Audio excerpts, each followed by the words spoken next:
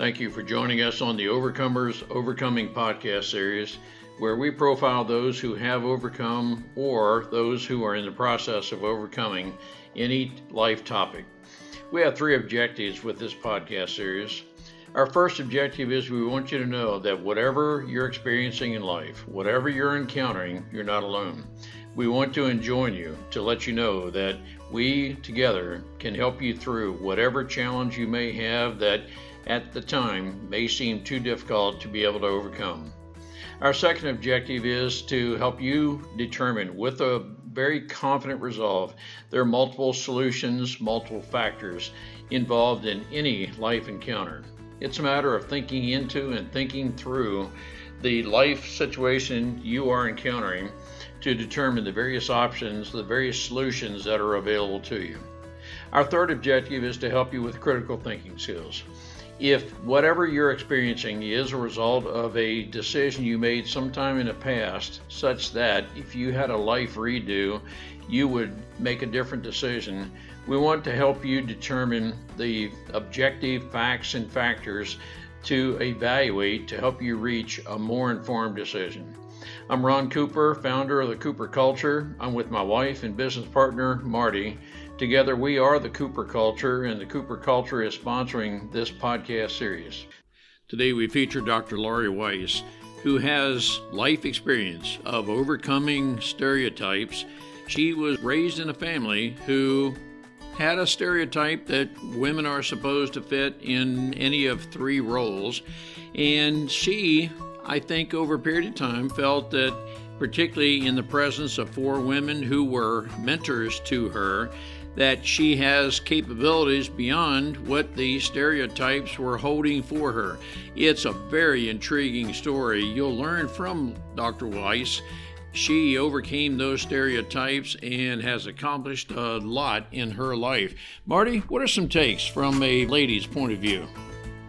Ron, one of the takes I got from Dr. Weiss know your passion and don't be afraid to be yourself open those doors and say a door closes, there's another door that will open that would be maybe a better place for you or a desire that you thought, gee, I didn't think I would have that, but here it is and I love it. Dr. Weiss didn't use these words, but I think if she were here right here, she'd tell you, don't you ever let anybody else tell you what you cannot do. Let's learn together and let's move out. Dr. Weiss, thank you so much for joining us. Our listeners are going to be very interested in knowing enough of your background to be able to identify with the fact that you have punched through, so to speak, the glass ceiling that's frequently associated with women.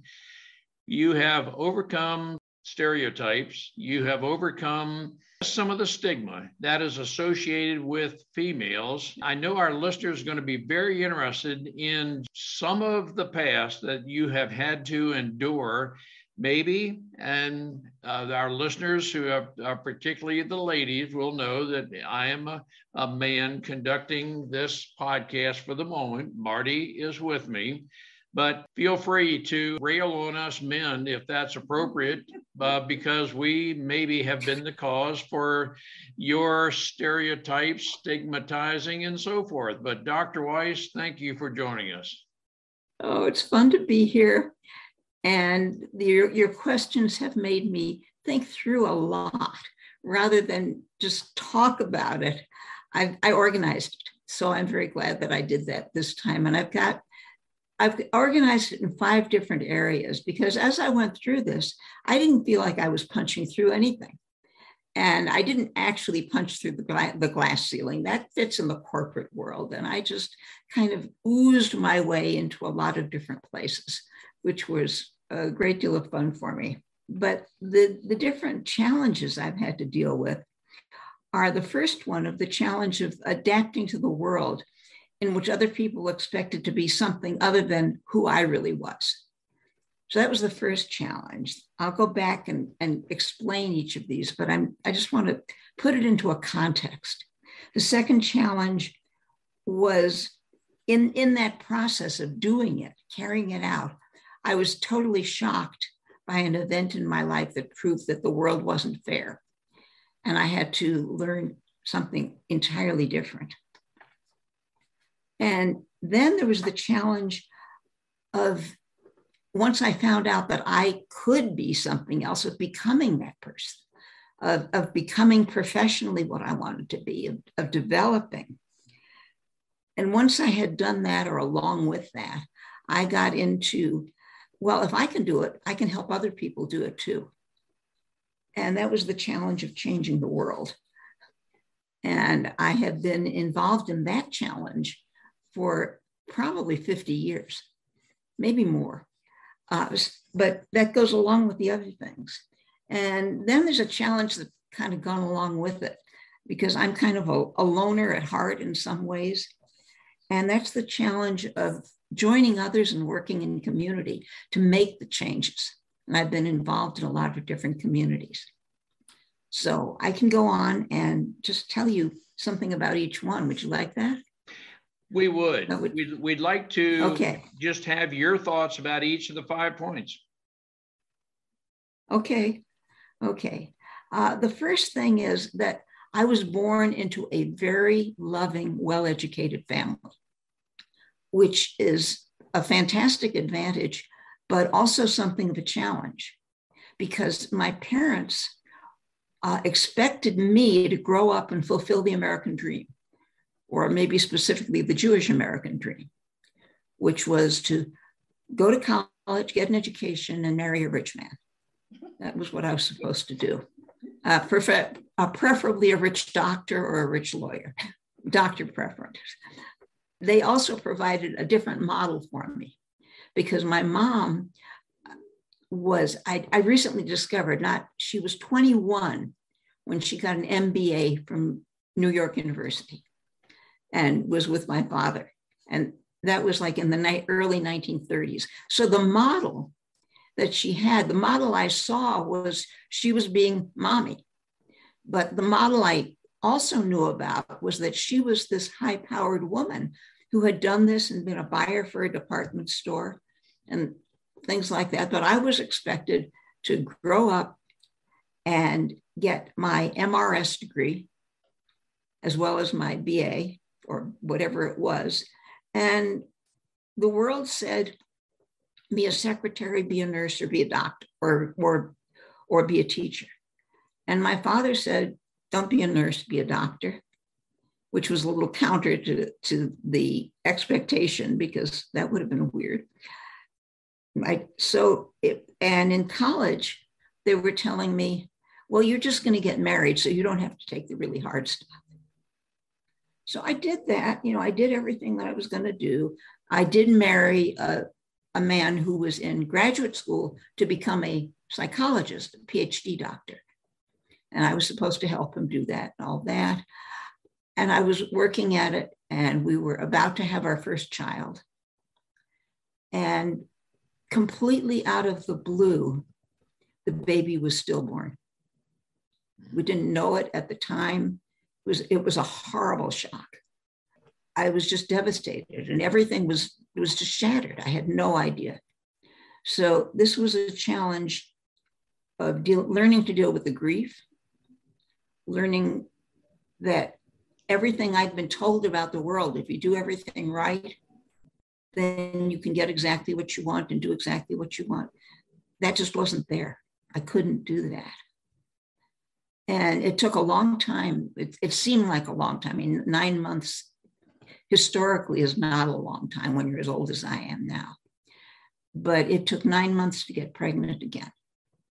And when I finally did, about three or four months later, my husband told me that he was in love with his co-therapist and mm. wanted to end the marriage. And that was where I discovered something. I discovered depths of myself I didn't know because I got really furious. And, and, and I knew his co-therapist. And if there, if there was somebody else in the world who was really like me, it was her. And it was like he, I didn't know exactly what was going on, but I was very, very upset. And I was furious at him. And I told him so. And at which point he got the idea that maybe he shouldn't get a divorce. And we weathered that. But it changed things a lot.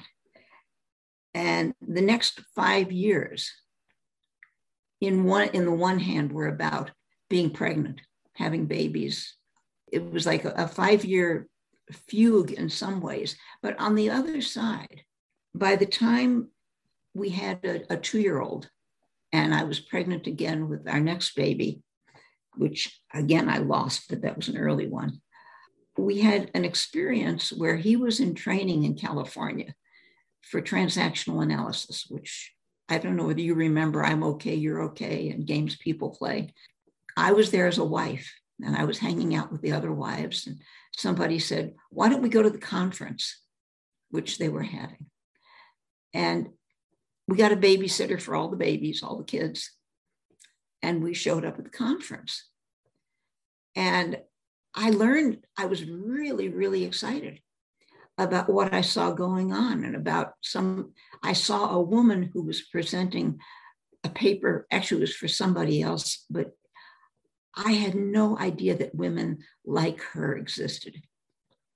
And she later became one of my mentors. She was, she had been Rosie the Riveter. She was a, a minister. She was a brilliant, brilliant woman. And it was like, wow. And at the same time, I met somebody and I introduced myself as, oh, I'm Jonathan's wife. And she looked at me and she said, oh, I'm a person in my own right.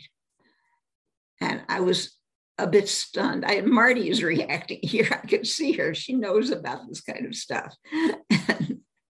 so that that was the beginning. It was like, oh, you mean you can be a person in your own right and not there. And I'd also had some therapy and various things. So I was beginning to come out and see what I wanted to do, who I wanted to be.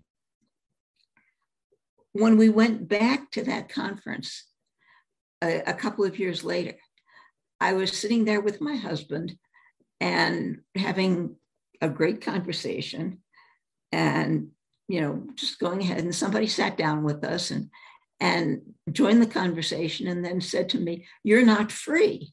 I said, Well, of course I'm free. My husband lets me do anything I want to do. And then I went, Oops, because that was the epitome, epitome of not being free. Well, at that point, she basically drew me into feminism, which was a the incipient second wave of, of feminism that was just starting out and got me involved. And my, my world changed. I started seeing things completely differently. I started seeing the world that, you know, I'm not going to be mad at men for creating it because that was the world that they were living in too. And they had stress and strain too, but they couldn't see things from a woman's point of view. They couldn't see how really oppressed we were and how we were kept down and kept in our place and not allowed to achieve our potential. And my nature, whatever it is, whenever something interested me, I would go full out and learn about it just because I wanted to. And I didn't necessarily have the certification. I didn't necessarily have the degree. I didn't necessarily have anything, but I just dive in and just learn because it was interesting. While that was going on, I was fascinated by TA and just kept learning everything I could and taking every training I could. And every training, and I, by that time I was a teacher, I was a classroom teacher, and every training was about psychotherapy. They weren't using it in schools or anything like that. But I kept saying, I could use this in the classroom. This would be really, really great. And I wanted to learn more and I wanted to learn more. And so I did. And one day, my one of my mentors, another teacher, another woman, said, You know, you're about ready to take your clinical exams. Well, I had a BA, no professional degree, whatever but she was inviting me to take my exams to be a psychotherapist in a professional organization and get certified. And I did. there I was with a certification as a psychotherapist. By that time, I wasn't a classroom teacher anymore. We had moved to Colorado and we were starting the TA community. And again, this was spreading some, well, maybe this was the first time. I was spreading something that I knew, spreading the information about it. And we were having a really interesting time having meetings, and I was organizing them. And my husband and I were teaching transactional analysis, often to teachers, sometimes to therapists. And finally, he left the job he had, and he and some colleagues opened an office. And I said, I want to be one too. I, I want I want an office. So I got to be a psychotherapist without any kind of a formal license or anything. It was the 70s, things were good. I had a great time. Meanwhile, I was sneaking in teaching feminism. I was teaching a class called A Woman's Life Is, which always led to starting a consciousness raising group. And so I was just dotting the world with consciousness raising groups for feminism while I was doing that. And I also became a certified feminist therapist, which led to another interesting track. So things developed, you know, one onto another. We had to learn how to balance work and family. Because I was working, my husband was working, we were doing basically the same stuff. One day, I had a program where I was working with about 30 people, and he had a couple of clients.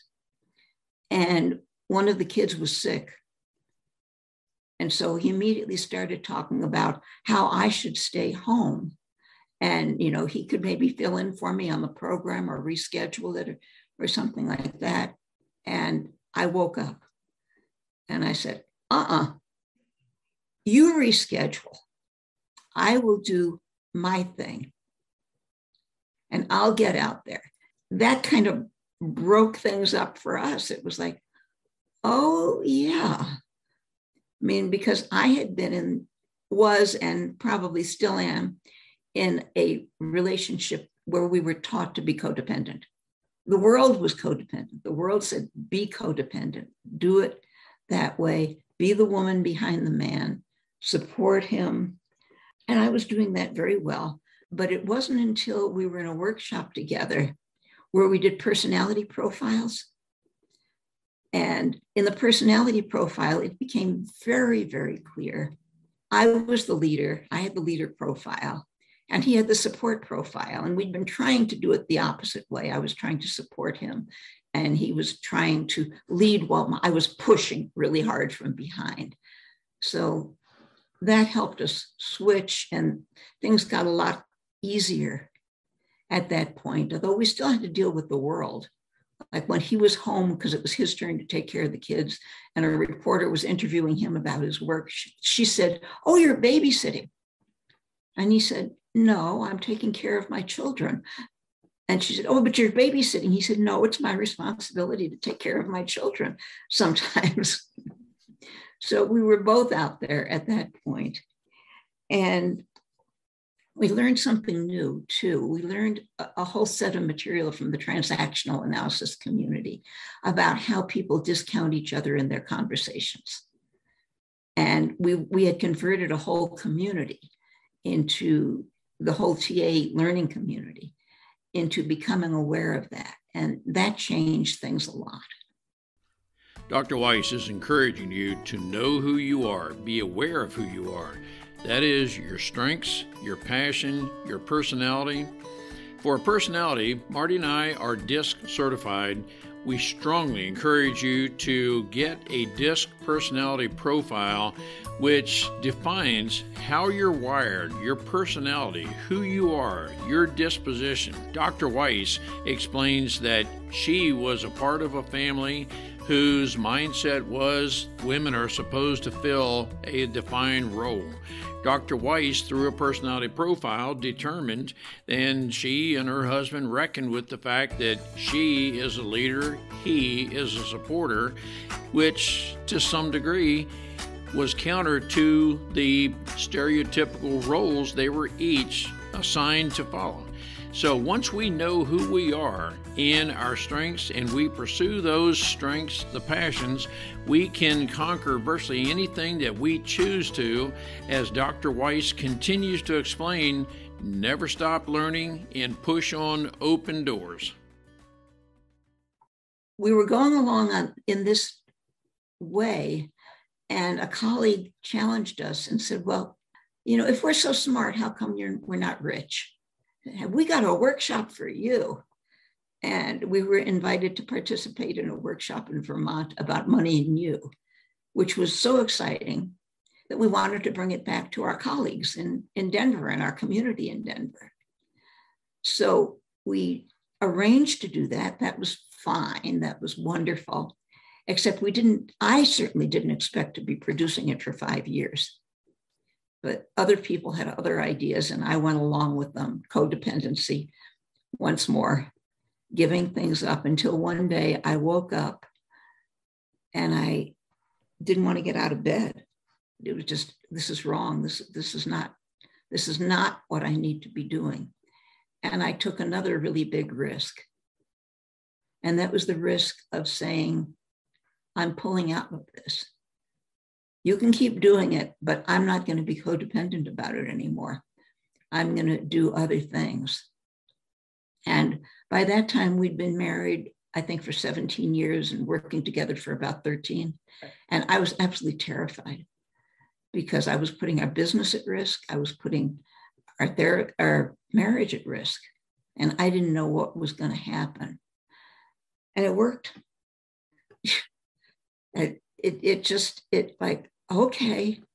He kept doing the workshop for another six months, but without my support, which he wasn't even recognizing how much I was doing to make it happen. Without my support, kind of, he lost interest. And then we moved on, and along with everything else, we had become experts in a particular form of psychotherapy, which was later identified as inner child work when we left this practice, we were kind of wandering around the world for a while, started doing some other things. And because of the feminist therapist part, I had written a chapter in a book. That chapter, I, would had to deliver a paper, which became a, a chapter in a book. And then that chapter in a book grew to a monograph and a chapter in another book. And maybe a chapter in something else. I don't exactly remember the order of it. It was very interesting. And finally, we got a contract to write a book, which was called Recovery from Codependency. It's never too late to reclaim your childhood. It was about doing inner child work.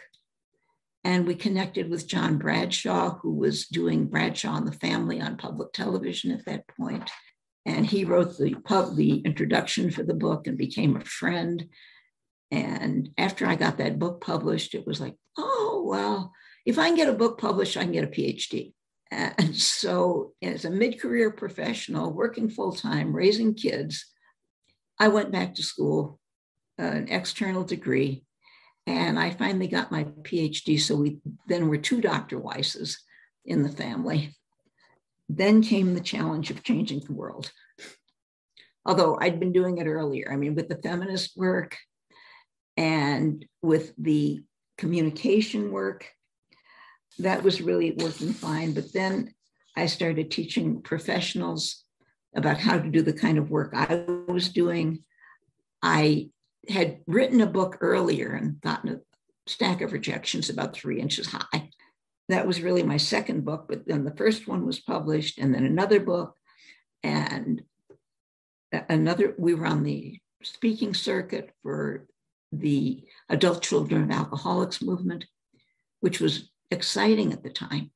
And we were doing the inner child work and had had a book that was selling well. It sold, it was a bestseller, really. I mean, now you no way, no way does anybody sell 40,000 copies unless they're, you know, New York Times bestseller, but we sold 40,000 copies. And life was very, very, very busy we were on the speaking circuit, we had our therapy practice, I was working on my PhD. I had a contract for another book that happened more or less accidentally because I had heard the world of psychotherapy was changing. Managed care was coming in. We weren't going to be able to do the work that we had been doing. It was just too far out on the edge. They would not cover it. We didn't want to do it. And we heard about coaching, which was brand new at the time. Nobody had really thought very much about it. There was like one one man pushing it. And we got connected with him, became coaches as well as psychotherapists, and developed a whole new area of practice and a new way of doing things. I had written another thing sort of accidentally. I, I, was going to write something about my business book, which got done in there somewhere. All of a sudden, I found myself writing tips for relationships. And I was writing this book with using a team for support, using a, a team of people on the internet. And it was such an exciting time. I was in the coach community and I was doing that. And I wrote something, which was a little pamphlet called 124 Tips for Having a Great Relationship. And these things don't sort of, the timeline isn't, isn't clear here.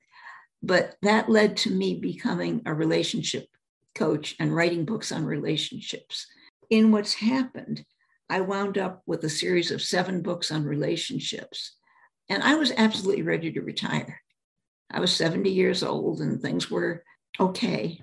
And I was having fun. The world was good. I was thinking, it's time to quit. And then I came upon this incredible energy therapy process called logosynthesis, which came out of Switzerland, which was almost unknown in the United States, and which let us do the work that we were doing, helping people change in a fraction of the time with a fraction of the pain. It was so amazing that we had to go learn it. Because again, I said my, my pattern was you go learn what you want to learn you know, it doesn't matter what it is. And in the learning of it over a period of years, my husband and I became the only certified logosynthesis practitioners and then master practitioners in the United States. And we still are. There, there are a couple more people who are getting certified and who are trainers and practitioners, but nobody is at our level at this point. And I decided that this process was written about in European professional language.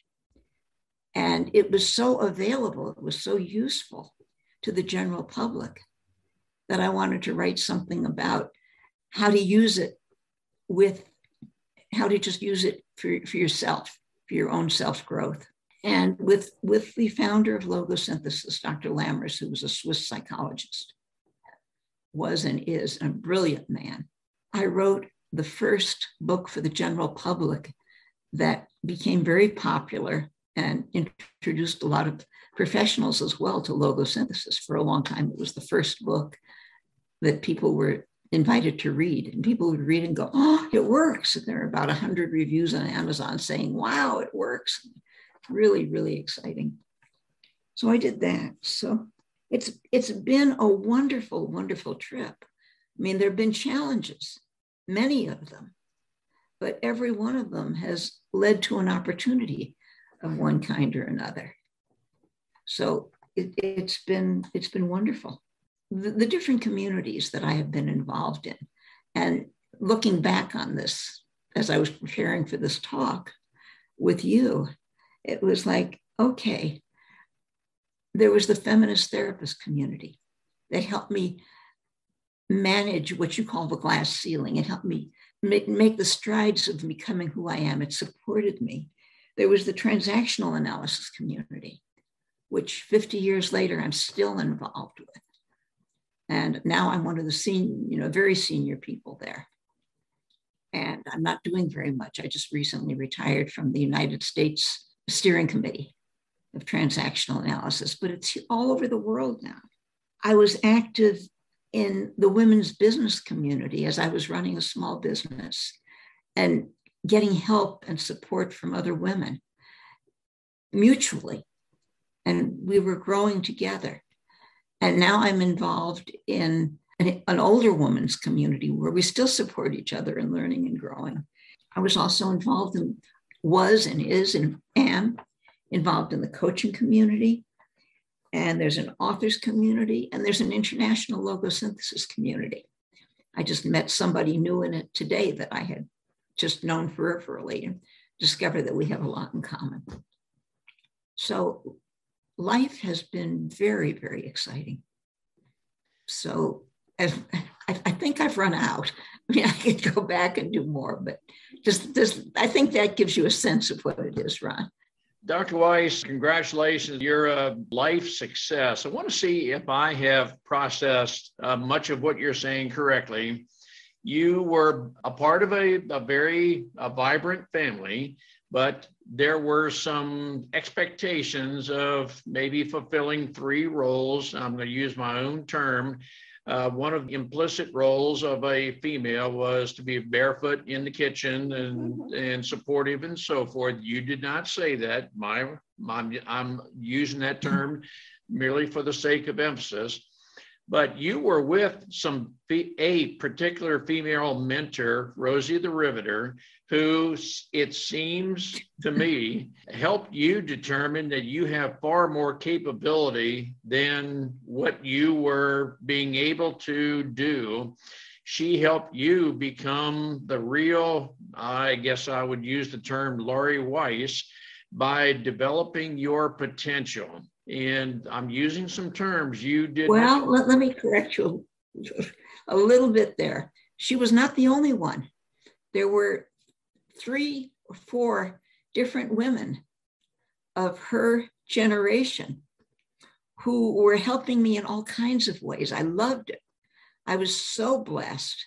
And it, has been my joy to try and pass that on to other women. So now go back to what you were doing. Sorry oh, to interrupt. Right. I no, that is that good. Uh, through four women, they helped you realize your full potential and you i it seems felt that uh, with their mentorship you really can be the lady that you were let's say born to be you to live your potential albeit it didn't fit the family mold and so if i've come somewhat close to summarizing what you said i'm very interested in what your thoughts are uh, dr weiss for the females listening right now, and it could apply to any male, I think. I don't think this is gender specific, but for any person who's not living their potential and they feel that there's something more to me, there's something more to life, and so forth.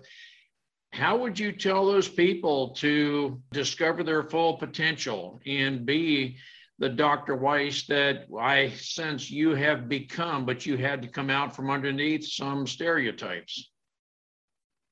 I definitely came out from under stereotypes. Stereotypes still exist. There, there's a lot more space, but still, you know, women still do the brunt of the housework and the brunt of the child care work and things like that. And men are still expected to be real men, and that's defined in different ways. I mean, real men do cry. Real men really have feelings. Real men are fabulous. So the the thing that I would say is look for other people who are like you. And there are so many more places to look now because people can look online and find something. They can be on Facebook and they can find a tribe of people who are emerging, people who are trying to do it and get tips from other people that maybe aren't even in the same physical location. Read, learn, join up with other people there's meetup groups. You know, if you're interested in learning about something, go ahead and learn about it. You don't have to have a big plan. Feel free. We're, we're taught to have very narrow visions of who we're supposed to be. Open up. If something looks interesting, try it out, explore it.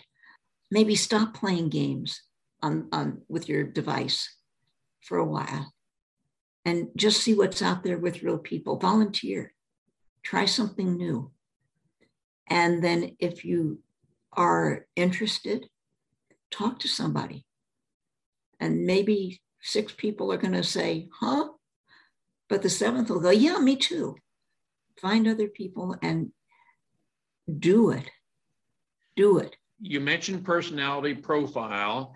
Was there an aspect of the maybe in combination, the personality profile, who helped determine who you are? Was there a matter of maybe through the four women mentors that you defined, determined your strengths? Is that what helped define the real Dr. Laurie Weiss? I don't think so. Not in terms of defining. They opened doors. They said, look this way, try this way. Something I didn't mention in terms of my development. Another woman saw what I was doing, said, Go study with Jean Houston, who is an incredible teacher, spiritual teacher. I didn't know it, but I went to study. I went for a week and it changed my life. And then 10 years later, she offered another program and that changed my life even further. But it was like, okay, they opened the doors, I went through. They didn't say you should go this way. They said, here, I'll make a place for you on this committee, even though everybody on this committee has always been credentialed before. Let's have you on it too. Go ahead, join it. And I joined it and I changed it. And that, that was what they did. They didn't say, here's how. They said, try it. Now, I'm very curious. The doors that were opened for you, it was your initiative where you tried different doors or you found some that worked, but did you experience any failures? And did and if yes to that, and I'm supposing you probably did, did that take you back to, well, maybe I was never meant to be what you're trying to do? I no, not not any failures that sent me back that way. There were certainly failures. I mean, uh, a three-inch stack of rejection letters was not nice. And that was definitely a failure until it became a success.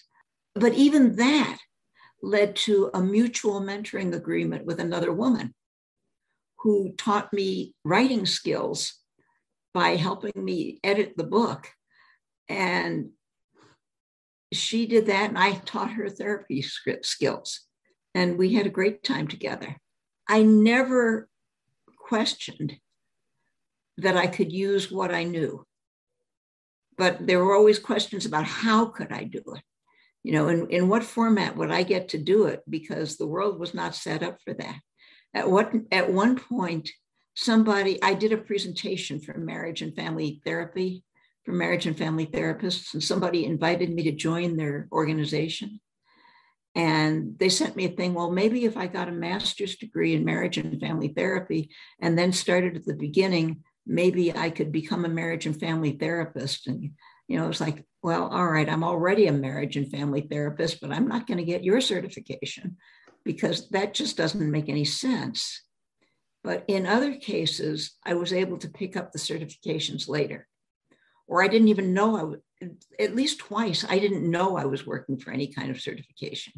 In transactional analysis, when I was learning it, I was just learning it because I wanted to. And in logosynthesis, the same way. I was learning it because I wanted to. And in coaching, I had already learned it. I was already a master. And they had a program for being grandfathered in as a master certified coach. And it was early on, and I had people vouch for me, and I was certified. I was grandfathered in as grandmothered in perhaps as a master certified coach. So those are certifications that just sort of came along the way. The PhD I did work for, and that was hard work. And that was to be official in the world. It made a difference. But I couldn't do it in a conventional program. I had to do it in an external program that I could arrange to do what I wanted to do because that was my style. And I combined three fields. I combined child development and adult education and psychotherapy in one field. So even there, I was a pioneer. And the exciting part is that work maybe getting into a UN program in South Africa some 30 years later. So, I mean, 25 years later, it, it's just, it's mind boggling to me that that could be happening. Well, several personal characteristics come to my mind. One of them is resilience. One of another one is you have a determination. Once you have had discovered yourself, your strengths, through the power and the mentoring of four other women. What I'm determining from you, Dr. Weiss, is that you, after knowing yourself, your capabilities, you made up your mind that uh, you were going to go in a direction you're going and nobody will keep you from achieving. If I am recalling correctly, you earned your doctorate degree at age 54 or something very close to that. And you are a very very determined lady who, once you've set your course in your mind, no one is going to keep you from achieving the goals that you have set. Um, have I mischaracterized any aspect of uh, Dr. Laurie Weiss? One little bit, which is I don't set goals for the most part. I well, little goals, but I, I don't have anything about what's going to happen it's nobody can keep me from learning what I want to learn. That's what nobody can keep me from because I keep doing that. I want to say, uh, and correct me if this is not right, to the person that wants to do something, would you say, don't be afraid to be you, just do it? I would say, don't be afraid to be you, just do it. And if you start to be you and people push you back, then maybe don't show them that aspect of you. My parents never saw my the whole me. They saw what they wanted to see. And I was careful not to upset them. And they were proud of what they saw. They were glad of that and somewhat distressed that I was back in the workforce before my children were grown. But they worked it out it was okay. So I would say be careful because sometimes there's a lot of pushback. I mean, I'm sure you've experienced that as a woman. Mm-hmm. And so go gently, but keep on doing it. Mm-hmm. Don't stop just because somebody else says that, oh, that's not you. Of course you can't do that. Women can't do that. Do it anyway. Mm-hmm. I, I, I know Marty that that I, I know that this is an audio, but your listeners don't know that we can see each other. And I could see Marty cheering me on as I'm going through this. it's really fun. Yeah. Another thing I'm learning from you, Dr. Weiss, is I think you're telling our listeners never stop learning, never stop having a desire to read, learn. The more you learn, the more your mind is stimulated into thinking different things anything is possible. Am I characterizing uh, a lot of you? Yes, definitely. Definitely. Think. don't you know, don't don't swallow things. Think about them. Question things. Dr. Weiss, that is huge advice. And I want to thank you on behalf of our listeners for accomplishing what you have. You've given a lot of women, lot, let's just say a lot of people hope because I don't think that what you said is gender specific. You have certainly overcome a lot of stigmas, but there are many of us who have limited ourselves because of limiting beliefs.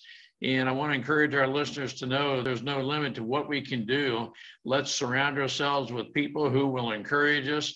Let's have an insatiable desire to learn. Let's keep thinking as you are, and everything is possible. Yay. Love that and my books will help. Send them to my website where they can see my books.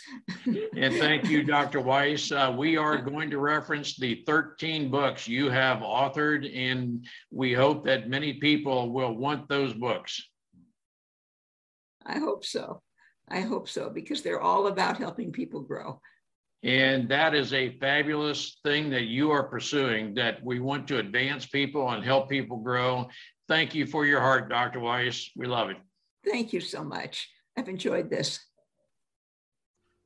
Dr. Weiss made it very clear the impact on her life of labeling, stereotypes, expectations. Some of this can result in what is known as limiting beliefs. it tends to put us into what I call a pigeonhole. That is, your expectations are supposed to conform to whatever the thoughts are at the time, and the labeling, the expectations, whatever term we put to it, those labels may have the end result of manifesting themselves in a way that limits us from living our full potential. I think Dr. Weiss would say that there was a time in her life when she was not living her full potential because of the environment in which she was raised. And I don't think she's blaming anybody, it's just the way things were. But through four ladies, she was able to determine what her potential is, what her strengths are, and it's through that relationship that she was able to clearly discern, be aware of who she is. And Dr. Weiss was very poignant, very articulate in saying, Don't let anybody define who you are, don't let anyone limit you to live your full God designed potential, but rather find those who believe in you, those who can advance you to your full potential and live that potential. That potential includes learning, and if we have an insatiable desire to learn, that can help stimulate our thinking to where there are opportunities Firstly, everything in life is an opportunity if we have the mindset that we are an opportunity maximizer, that irrespective of anything that happens in our life, we'll make an opportunity of that. Dr. Weiss was very articulate in saying she was that opportunity optimizer and she overcame things of the past, those limiting beliefs, to where she turned them into opportunities. It's a very inspiring opportunity. I want to help you to determine what your potential is, to know what you, exactly you were designed to do, created to do best, your strengths. Part of that is a personality assessment. Marty and I are certified DISC professionals of the advanced level. We can help you determine your personality style through which we can help you determine your strengths. We are also certified coaches through the John Maxwell team. We can help you determine exactly what your strengths are, help you work through any limiting beliefs you may have to help you reach and live your full God designed potential. We know what it is to be totally fulfilled, living your potential, seeking your passion, and doing exactly what it is you were destined to do, and working toward advancing other people. We have that fulfillment. We want to share that fulfillment with you. We hope we can warrant a five star rating through this podcast. We hope you'll want to subscribe and pass this podcast on to your friends within your social media community. We hope you'll share this podcast with your Facebook friends, your LinkedIn connections, your Instagram community, everybody within your social media group. And we hope you'll choose to share this podcast with others. Contact us, Ron at thecooperculture.com or Marty, M A R T Y, at thecooperculture.com. If you feel that you are not living to your full potential, contact us. Let's schedule a 30 minute complimentary coaching session to where you can determine through this session if we would be the right ones to help you live your full potential, to help you overcome what may be some limiting beliefs, as Dr. Weiss was saying in her life that she had to overcome some of those stereotypes and stigmas, and some of us need to overcome the same. Marty and I have each overcome those stigmas, those limiting beliefs, to where we have the total life fulfillment of living our potential. We hope you will share this podcast with others. Contact us. Let's work together to advance others to help them live their full potential. And we look forward to working with you.